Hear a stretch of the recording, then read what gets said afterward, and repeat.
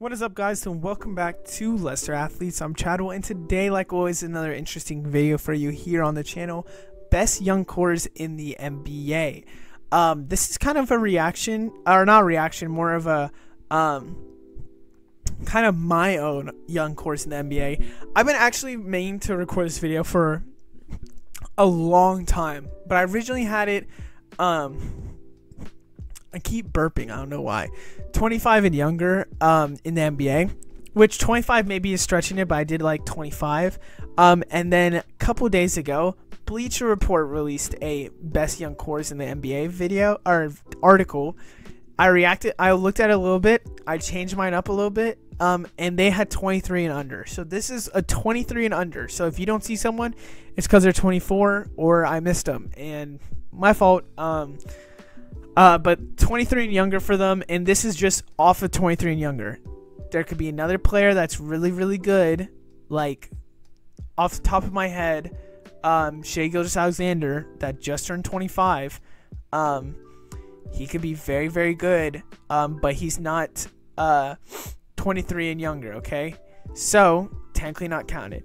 But let's get started with a make sure like and subscribe on the video. 93% of you are not subscribed. Uh, used to be 95, now it's 93. Um, so we're getting better. We're getting some more. Uh, but yeah, uh, seeing a subscriber makes me want to grind for more. So yeah, other than that, let's start for the video. Honorable mention Utah Jazz. I'm putting the Utah Jazz here because I did not add a team, and I think I definitely doubted that team, and I'm changing and adding them up here uh, now. I'll talk about it when we get there.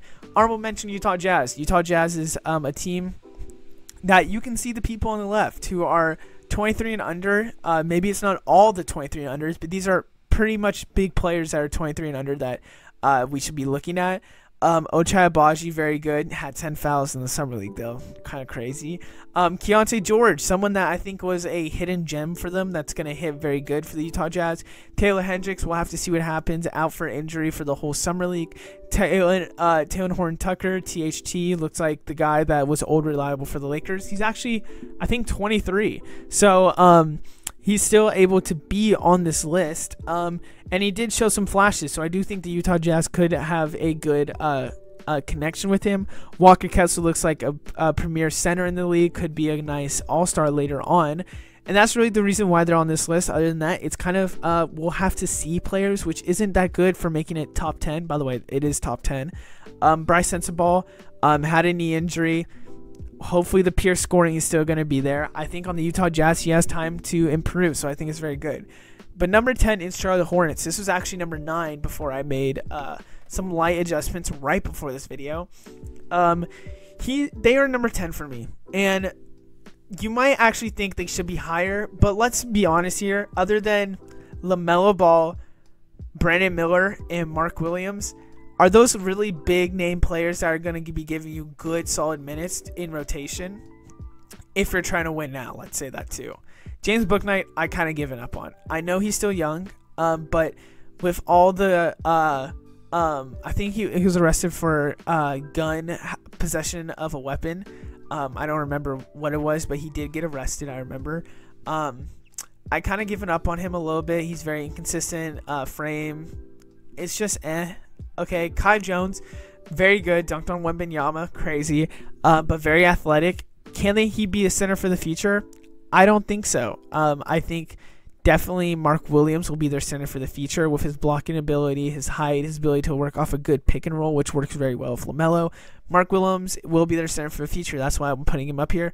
Brandon Miller, of course, a good player. James Nnaji, it's going to be hard for him, um, especially with Kai probably being that, or Kai Jones, yes, I almost said K Jones. Kai Jones being that backup, it's going to be hard. He's probably going to be third string, but does he have potential? I do think so.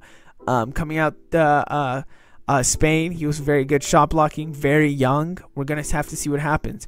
Nick Smith Jr., I really like, but I do not like him for the Hornets, and I do not like him uh, trying to get better with the Hornets. Um, I really want him on another team. I really wish he got drafted to another team, but um, we'll have to see what happens because he has very, very good potential. But that's why they're number 10 because there's not really that much out there. At number 9, this is the team I didn't really add on, but I'm going to add them to this list. Minnesota Timberwolves. Troy Brown Jr., Josh Minott, not really players in this scenario. Anthony Edwards is probably one of the best young players coming out right now. Um, All star already. I think he's sky's the limit for him. He should help the Timberwolves get on this list, and he's at number nine. I'm gonna have to explain why he's not. They're not higher, and that's because um, I don't know. When you only have Anthony Edwards, Jaden McDaniels, who's very very underrated. Don't get me wrong, but offensively isn't that great. Defensively, he's probably one of the best defenders in the league. Leonard Miller, um, we're gonna have to see what happens with him. But me personally, I love Leonard Miller. Kind of made him push onto this list. Naz Reid will have to see with the three center uh, ideal in backup, but he's gonna be a certified backup. Offensively, very good. Defensively, not as well.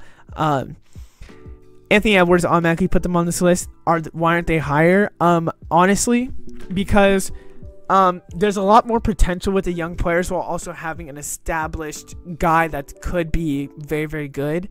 Um, but honestly, 23 and under, uh, Minnesota Timberwolves. It, that's I truly think that they're at number nine. They could, on everyone's list, they probably could be higher. But I think other teams have an established star or have somebody that's very, very good with very, very good potential, while also having way more players with great, better potential. Um, so that's where at number nine for me. At number eight is New Orleans Pelicans. Speaking of players that have very good potential, Zion Williamson is still an established star. Does is very good. Um, kind of looks like three L's right there, but there's an actual capitalization on the I accidentally. Um, Zion Williamson is very very good, even though um, he's very very good in the bed too. Um, Trey Murphy the third. Um, he looks like he could be very good. With Zion out, he excelled very very well.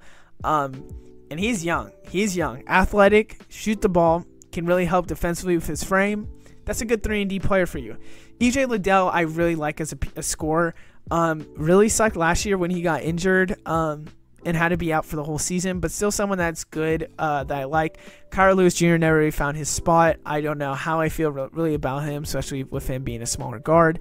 Jordan Hawkins looks like he can really score the ball. I'm very excited for the New Orleans Pelicans to have Jordan Hawkins.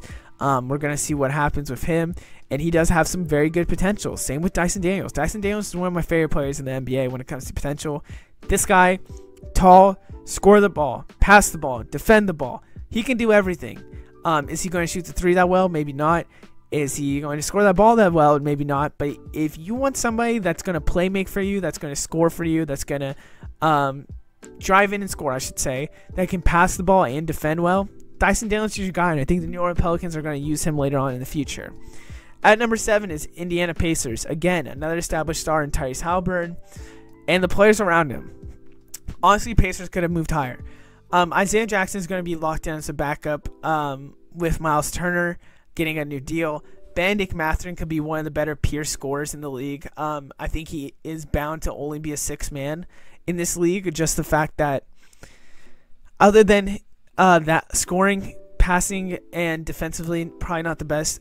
Uh, Andrew Nembhard is going to be good at the two position. Um, uh, he's low key a mini Haliburton sometimes when it comes to passing and getting triple doubles. I think Andrew Nembhard is very underrated. Uh, Aaron Nesmith kind of just there. Ben Sheppard, someone out Belmont that can really score the ball. We'll have to see what happens. Um, Jarace Walker, Swiss Army knife guy that really is going to help them uh, excel their excel themselves in the playoffs. Um, we're gonna have to see what happens. Um, but I definitely like Jarace Walker, and I think he'll be a good player later on for them in the future. Um, we're just gonna have to see with the new additions of Obi Toppin and Bruce Brown. At number six, we have the Memphis Grizzlies. I low key could have put the Grizzlies higher, but like the other ones, there is uh, some good potential around them. Not like the Timberwolves, uh, where they do have potential, but they don't have like high ceiling guys. Um, but you already have two All Stars here. Ja Morant and Jaren Jackson Jr. is crazy good for um, having them for your uh, uh, duo for the future. Uh, Desmond Bane could have been on here, but he's I think 24, 25. Uh, Kenneth Lofton Jr. Um, somebody that I really like personally. I think he's a very good player. They should add him more in the rotation. Jake Levere, uh, Why am I why am I tripping on his name?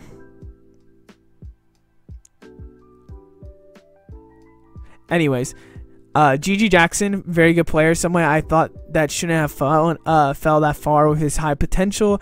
Um, could work very well in Memphis Is Memphis probably the space for him to work on character traits? Maybe not.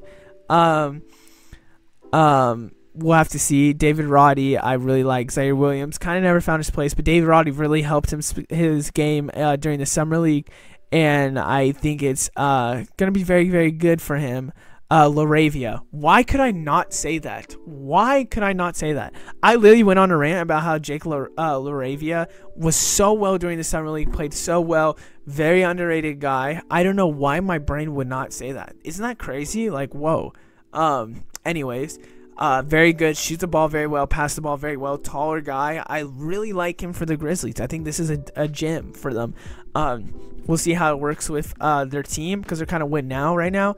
Um, but when it comes down money situations, they might have to rely on some of these younger guys. And I do like GG Jackson, especially to maybe rely on later on. Um, but it's going to take some time. At number five, we have Orlando Magic.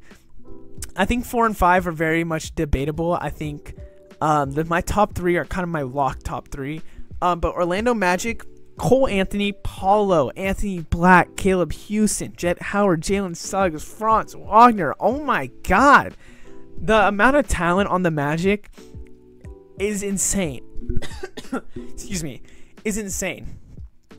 And if the Magic don't do something with this talent, it's going to be a huge red flag for that organization because um, when you have this many lottery picks, this many good players, and you don't do anything with it, it kind of doesn't look good on your franchise. I think here soon, maybe not this season, maybe next season, Cole Anthony, Jalen Suggs, uh, those players are going to be on the move. Anthony Black, Paolo, and Franz is somebody I think that's going to stay on the team for a long time and fits well with how Anthony Black played in Summer League um, how the Magic uh, GM talked about how he feels about Anthony Black, saying that he raises the ceilings for every single player when he's on the court, which I do agree on. Um, Jett Howard, I like him. Shooting was pretty good uh, during summer league.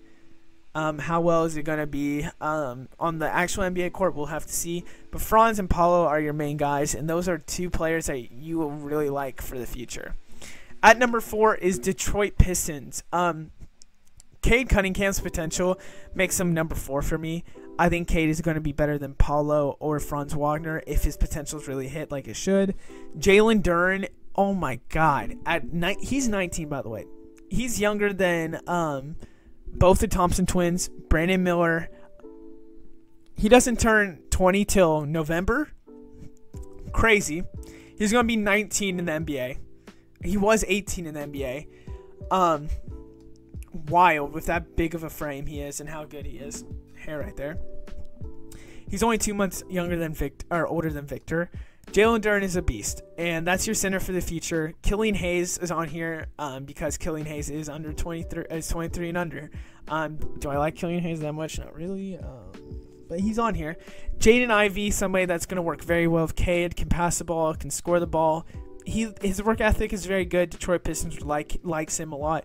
Isaiah Stewart, another guy that I think is very underrated in this league and is very good. Ausar Thompson, a Thompson twin with Detroit. Defensively, he could be one of the better players for you. Could be relied on.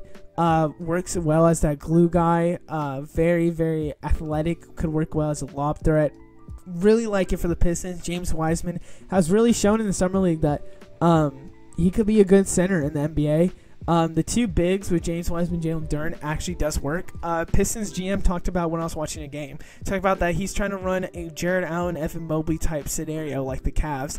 Um, will it happen? We'll have to see. But I do think that there is potential. Now we're going to my top three. At three, we have San Antonio Spurs. Bleacher Report actually had them number one, um, and I do disagree when we're looking at 23 and under, Malaki Branham's very good. Um, after some poor stop shots at the uh, summer league, I still think there is good potential. Sidy Cissoko, I really like for the Spurs defensively, very good guard, uh, can pass the ball. Keldon Johnson can score the ball, but he kind of had empty calorie minutes when it came down to it for the Spurs. Tre Jones, another empty. All these players are kind of empty calorie players from last year. Um, and now Victor Wembanyama's on here. Devin Vassell can really score the ball. That's kind of going to be there somebody that's going to stay with them for sure. Same with probably Jeremy Sochan. Works well with Wemby. Can pass the ball, play defensively, very, very good. Blake Wesley, someone that really showed in the Summer League, he's going to be good. And of course, Victor. Victor makes him almost three on this list with his potential. Um, and then all the others are very very good, but they're not really crazy crazy good. Um, but Victor makes him kind of three on this list. Um, you can't deny that having Victor Wembanyama doesn't make you one of the better young cores in the NBA because it's going to skyrocket you to the ceiling with what the potential is. Um, am I going to be like Bleacher Report and overreact and put him number one? No. Um, I do think they're number three. A lot of people are not going to agree with my number two, um, which actually we'll go to that. A lot of people I saw in the comments talking about OKC's number one. I almost put OKC number three here maybe this is me being delusional. And I do want to say I, I am a Thunder fan. So me watching the Thunder made me want to put them two. I don't really watch night number one, and you probably know who number one is. While uh, uh, um, what is it called? Not knowing or now seeing number two. But I put OKC number two. If we're looking at 23 and under, Ousmane Dieng, 6'11 guy that could work very well. He's a prospect piece. He's gonna be he's gonna be a project for it all. Okay, Josh Giddey already took some strides. Um, can rebound, pass the ball. Learn finally that he's 6'8 and can drive and score the basket. Chet Holmgren in the summer league, he has shown that he's going to be a defensive anchor. He does not care about getting dunked on. He's going to go for the ball no matter what. And that's somebody that you want in the NBA that is just going to be like, I don't care if I get posted on a highlight reel. At least I went for it. That's all that matters. Keyontae Johnson, I add on here because he is an older rookie, but I do think that he could give some good minutes when it comes down to it. He's going to be a two way player at first. I think later on could become a good start, or not starter, I said starter, bench player. Um, and I think he could give some good minutes for them. Tre Mann has really increased his value for the summer league. I thought this could be a potential. Um, we might have to cut him because the uh, guard room is getting too big. Um, probably not anymore. Uh, a lot of people might agree with me on that one, but I don't think anymore that he's going to get cut. Poku is going to be Poku. Defensively has been good. Hasn't really scored the ball well. The Poku project hasn't worked as well as we would hope for. Still one of the younger players in the NBA, even though getting drafted in when did he get drafted? 2018, 2017? No, was that 2019? It wasn't the Lonzo year. It was 2019, I think, because that was the year with John them, and technically, technically, I think the Timberwolves picked him. So yeah, sound like that. Cason, uh, Cason Wallace is somebody I love, man. I love. Okay, this guy's a dog. He uh, defensively can be like Marcus Smart, Jrue Holiday. Kentucky shooting, I always believe in, and he showed that first game he could shoot the ball. Um, against the Rockets, he showed that he wasn't really good shooting the ball, but um, I still believe in him, and I think this is going to be good. When it comes down to it, our backup, uh, the guard position for the Oklahoma City Thunder was not well. Okay, our main guard for the Thunder um, was uh, Lu Dort. Really, when it came to backup, trying to pass the ball when Giddey and Shai are gone, that's not good. Cason Wallace will be a good fix while also having defensive ability. J Dub and Jalen Williams. Um, man, two way guard is or two way forward fit perfectly with um, what we wanted uh, when we were in that draft and what the uh, Rockets really wanted. Um, and we got the steal at 12. And this is second guy I've rookie of the year. He played one game in the summer league, 21 minutes, scored 20 something points, and people immediately were like, "That's not happening," and it didn't. Jay Will, um, Jalen Williams, other Jalen Williams, the way that he can charge, uh, use his body for charges is incredible in the, today's NBA game. The idea of taking out charges is crazy to me because if you see Giannis running at you full uh, pace, what makes you not just walk out the way if charges are gonna be taken out? There has to be a way to stop that, and charges is the way. Um, out would be insane. And Jay Will is the perfect player that knows how to draw fouls and get the other team gone. Um, it works very well. I would actually love a starting lineup next year, even though I like Lu Dort, but sometimes he can be very inefficient. Um, a lineup of uh, Shai Giddey, um, Shai Giddey, uh, J Dub, um, Chet J Will. I'd be okay with that um, because I think having a good traditional center like J Will, which he's not as traditional as you probably think. Um, going to work well with Chet at the four. Um, we'll have to see what happens, but I do think they're number two, and the reason why is because number one, all of these players, when they're at, if they hit their peak, and I guess you can say the same for the Thunder, but let's be real here. All these players at their peak could be amazing, almost close to all star level players, okay? Kevin Porter Jr., maybe not. Tari Eason, probably not, okay? Tari Eason, um, there was a stat I saw a long time ago about how, like, the only other players to hit this stat were, like, all star NBA players. Tari Eason defensively could be very, very good. The way he uses his attitude to score the ball too, I think having Jeff Green to kind of mellow him down would be perfect in the locker room. Um, Tari Eason, amazing player. He's going to strive under Ime Udoka.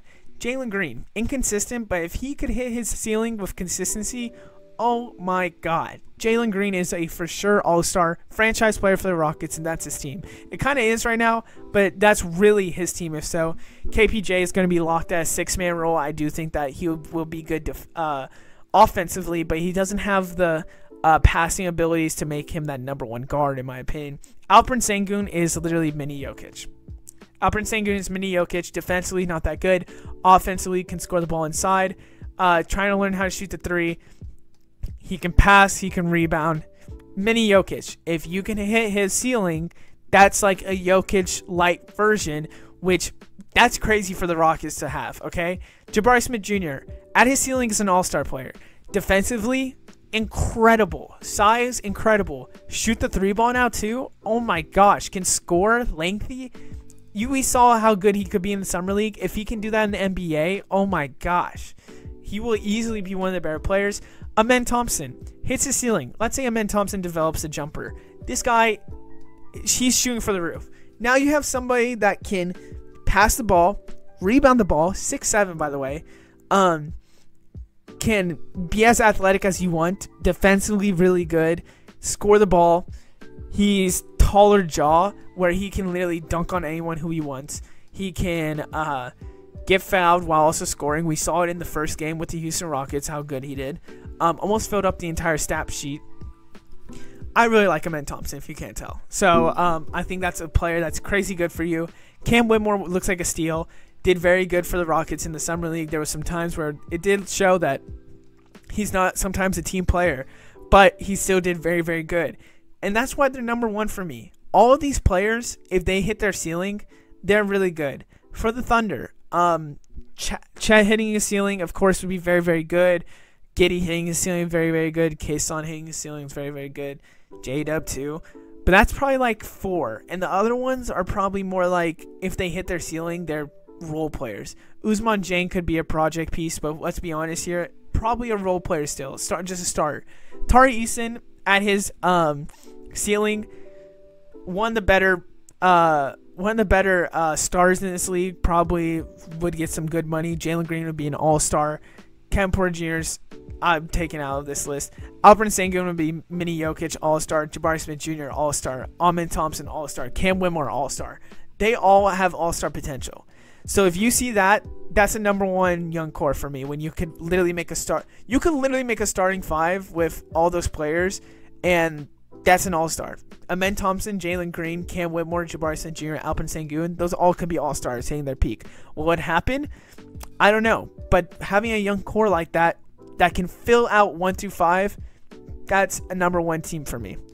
Other than that, I hope you guys enjoy. Um, very much a kind of talking. I talked a lot about the Thunder now, thinking about it. Yikes, my team, my fault. Um, other than that, I hope you guys enjoyed the video. I will see you in the next one, and goodbye.